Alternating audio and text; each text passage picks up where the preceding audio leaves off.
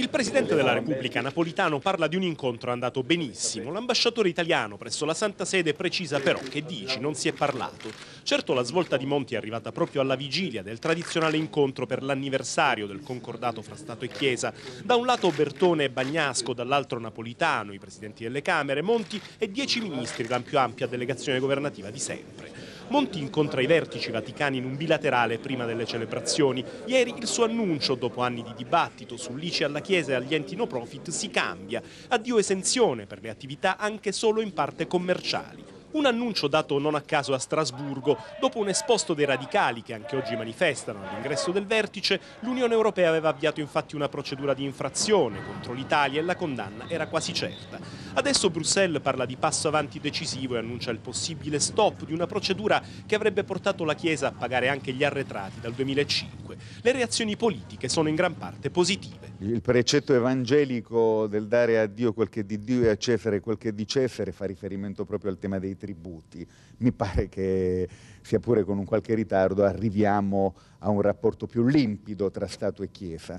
Un gruppo di parlamentari di PD, PDL e UDC però mette in guardia Monti, non si tocchi chi fa del bene, non si arrivi a far pagare le scuole parificate, le mense dei poveri, le attività sportive o culturali, altrimenti faremo barricate, così casini. Noi dobbiamo essere grati alla Chiesa Cattolica per la supplenza che fa in termini di assistenza e di solidarietà anche nella latitanza delle strutture pubbliche italiane. Tutti gli esercizi commerciali finalizzati ad attività diverse è giusto che paghino l'ICI, per cui la posizione di Monti è ineccepibile ed è in linea con quanto la maggioranza tutta in tutte le sue componenti ha sempre dichiarato se c'è una cappella aperta al culto, se è una residenza per preti, suore o frati, non importa, non basta se l'immobile è utilizzato anche a fini commerciali, se serve a far profitto. La Chiesa pagherà la tassa sugli immobili proprio come tutti i proprietari, che sia una scuola, un'università, una clinica o un bed and breakfast.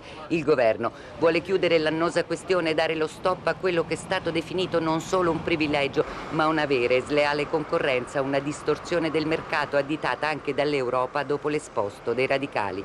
Ovviamente per gli edifici che la Chiesa utilizza solo ed esclusivamente a scopi religiosi e assistenziali, dalle parrocchie alle mense per i poveri, l'esenzione dell'IMU resta. Ma quanto vale quel patrimonio per lo Stato? La questione è tutta aperta. Di sicuro la Chiesa dispone di 8.779 immobili destinati all'istruzione e alla cultura, 4.712 centri di sanità e di assistenza, 50.000 strutture per il clero, dalle sedi vescovili ai conventi. Tradurre in cifre quel gettito è difficile, manca un vero censimento. Per il quotidiano dei vescovi l'avvenire si tratta di 100 milioni di euro appena, ben diverse le altre stime. L'Anci, l'Unione dei Comuni, parla di 5-700 milioni di euro. Per l'Ares, l'Associazione di Ricerca e Sviluppo, si tratta addirittura di oltre 2 miliardi.